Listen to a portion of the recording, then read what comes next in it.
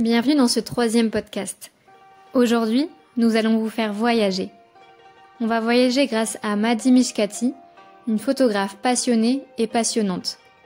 Nous aurons la chance d'accueillir ses œuvres du 5 janvier au 27 février à la Petite Galerie. Nous avons eu la chance de la rencontrer et d'échanger avec elle.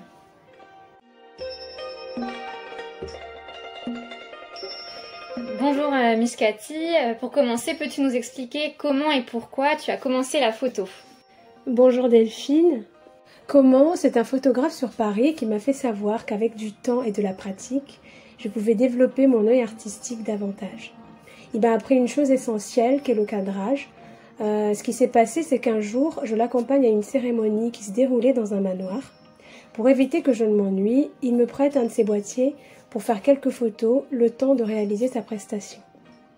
Donc par la suite, je l'ai accompagné durant un an dans tous les événements qu'il couvrait à Paris et en Île-de-France.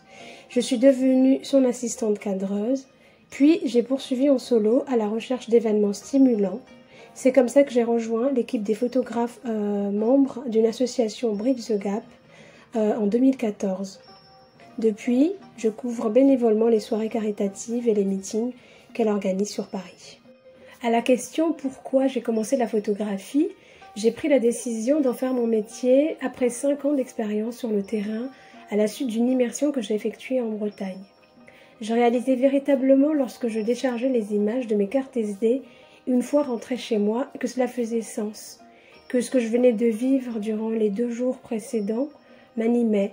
Le reportage avait lieu à la ferme de la Mare auprès de la famille Bougerie.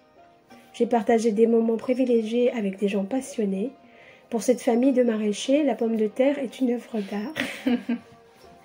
J'ai assisté à la préparation de la terre sur laquelle a eu lieu la plantation des poireaux, de la salade. J'ai pu visiter les serres également. Euh, j'ai aussi suivi tout le processus jusqu'à la préparation du camion qui part aux aurores rejoindre les marchés bretons. Donc après la Bretagne, tu es parti pour des séjours immersifs en Thaïlande, au Népal et en Inde, dans des villages reculés pour rencontrer notamment des aînés. Pourquoi eux? Pour récolter des témoignages authentiques. Ce sont des hommes et des femmes qui n'ont rien connu d'autre en dehors des modes de vie de leurs ancêtres. Donc des aînés qui ont fait le choix de préserver leur héritage culturel et d'en assurer la transmission. J'ai pensé qu'ils étaient les mieux placés pour m'apporter des réponses. Et alors, qu'est-ce qu'ils t'ont apporté comme réponse? Un enracinement, je dirais, une reconnexion à mon histoire, à mon identité, la fierté d'avoir une culture. Lorsque j'ai perdu ma grand-mère, j'avais perdu tout repère. Je me contentais partout où j'allais de fondre dans la masse. Pour vous citer un exemple, euh, j'avais été jusqu'à me raser la tête parce que je n'assumais pas la texture de mes cheveux. Et dès mon retour de reportage, bah, j'ai décidé de les laisser repousser. Et c'est avec fierté aujourd'hui, de nouveau, que je porte euh, mes, cheveux crépus. Autre exemple, j'avais délaissé ma langue maternelle, qui est le shikomori, un dialecte qui s'apparente beaucoup au swahili. Aujourd'hui, je l'entretiens en écoutant de la musique comorienne traditionnelle, la plupart revisitée par des artistes de ma génération. Et que dire des recettes culinaires que j'avais totalement délaissées, le thé, par exemple, aux Comores, l'appellation exacte est le chai. Il est connu pour ses vertus dans la médecine traditionnelle. Ce dernier est préparé soigneusement avec une multitude d'herbes aromatiques et d'épices, dont des bâtons de cannelle et beaucoup de gingembre. Donc tes photographies sont composées essentiellement de portraits. Euh, pourquoi avoir choisi ce format plutôt qu'un autre? Alors pourquoi des portraits? Bonne question. Pour la petite histoire, juste avant que je ne rencontre la femme avec laquelle mes immersions en Asie ont commencé, mon objectif de reportage, qui est le 35 mm, me lâche des mains et se casse. Alors en haut des collines, évidemment, il n'y a pas de boutique pour réparer quoi que ce soit. Je n'ai eu d'autre choix que d'utiliser l'objectif de secours, qui était le 105 mm. C'est un, c'est un zoom. C'était la mousson, il pleuvait. Les circonstances m'ont obligé à réaliser des portraits donc, euh, si j'ai bien compris, en réalisant ces portraits, tu es sortie de ta zone de confort. Et ensuite, euh, qu'est-ce qui s'est passé? Je suis rentrée ensuite en France. Euh, et là, je me trouve plongée sur les traits du visage expressif, chargé d'émotions de cette femme.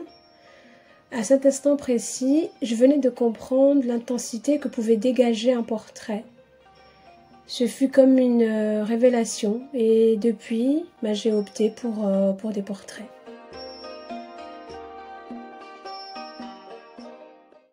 Tu as un univers bien à toi et quand on regarde tes photos, euh, c'est vraiment une explosion de couleurs qu'on voit. oui, en effet, ce qui caractérise mes photographies, c'est cet univers très coloré que je gère avec la lumière naturelle que l'on retrouve sur tous les portraits. Euh, au sein des villages parcourus, on croise de la couleur sur chaque coin de rue. En dehors des drapés et des accessoires que portent les gens sur eux, toutes les maisons baignent dans une multitude de couleurs. J'ai voulu rester fidèle à cette réalité et fait le choix, sur certaines images, d'inclure un fond coloré à la place d'une forêt ou d'une montagne, par exemple. Il arrive aussi que tu partages ton univers avec d'autres artistes. Peux-tu nous en dire un peu plus? Euh, Oui, alors nous vivons dans une ère très inventive, euh, très créative, ce qui me donne une excuse euh, pour bousculer les codes, mélanger les, les, univers artistiques. Donc travailler avec d'autres artistes me permet de ne pas limiter mon travail à la photographie. Il y a du vécu, des témoignages, un travail derrière, un travail, enfin, un travail d'écriture derrière, d'où l'intitulé de l'exposition des récits et des hommes. En partant d'une émotion que j'aurais figée par l'image, j'invite la peinture et le dessin à entrer dans la cadence pour nous emmener avec beaucoup de douceur au voyage, découvrir ces modes de vie d'antan. Les créations euh, qui découlent de nos travaux respectifs servent euh, par la suite de base aux enfants durant les ateliers que je dispense à côté des expositions. Donc les enfants qui le souhaitent viennent déposer des petites touches euh, innocentes et spontanées pour compléter le travail. Donc le, fait de réunir euh, divers, euh, univers artistiques, cela permet de sensibiliser un public plus jeune et plus large. Voilà. Donc par ailleurs, des artistes me contactent pour rejoindre les ateliers parce qu'ils trouvent de l'inspiration dans les portraits documentés tout comme dans mes expositions, chaque artiste est invité à venir puiser sur les portraits ce qui fait sens, ce qui résonne en lui, amener des propositions, imaginer ensemble, créer sur un même support des œuvres communes en partant de l'image. Donc si j'ai bien compris, euh, en partant d'une de tes photos, tu invites un artiste à s'exprimer et puis euh, pour finir, euh, les enfants viennent apporter leur petite touche à l'œuvre. C'est exact. Et au-delà du travail artistique, euh, j'ai voulu apporter une dimension plus humaine au projet. Donc garder le lien avec les familles rencontrées qui m'ont chaleureusement accueilli dans leur foyer au sein des villages. Je demande donc à tous les participants de glisser des mots à leur attention et une fois par an, je me charge d'envoyer le fruit de notre travail aux familles concernées. C'est une manière de leur rendre hommage. Eh bien, merci d'avoir répondu euh, à nos questions. Euh, on te retrouve dans quelques semaines à la petite galerie. Merci de votre invitation. Et à bientôt.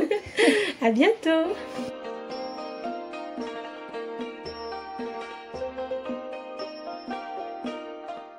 Vous pourrez retrouver les œuvres de Madi Mishkati à la petite galerie du 5 janvier au 27 février. Des ateliers seront aussi réalisés avec elle sur le territoire. Nous espérons que ce podcast vous aura plu et on vous dit à bientôt pour de nouvelles aventures.